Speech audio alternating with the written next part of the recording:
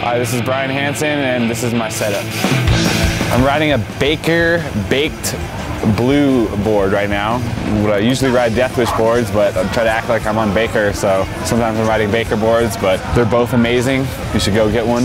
It's an 8.5, 8.5, and I ride the 139 Indies when you're supposed to ride the 149s, but I'm not man enough to ride the 149s, so I just stay at the 139s. And I ride Bones Swiss bearings to go as fast as I possibly can, and size 53 Spitfires. And these new ones don't flat spot at all. You should get some when they come out. They're super amazing. Shake hardware, Shake grip. I ride Fallen shoes, wear Altamont clothes while I'm skateboarding.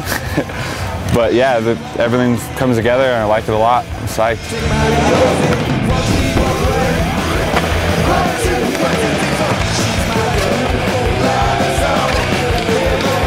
If you want to watch more setup videos of other pros, check out right above my finger.